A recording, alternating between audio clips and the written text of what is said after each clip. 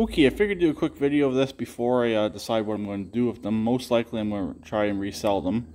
These are three Kenwood radios. I also got a Motorola.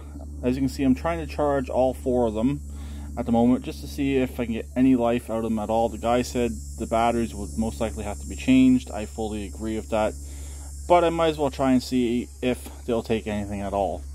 I also got a whole bunch of extra chargers for the handsets. I believe this is a charger. It's for the Motorola. Um, probably for a base unit. And the handsets, I got Motorola and Kenwood handsets. And I also have four holsters as well. My plan is to try and just resell this stuff. Uh, don't know if I'm going to post it right away or post a video first. I haven't yet decided.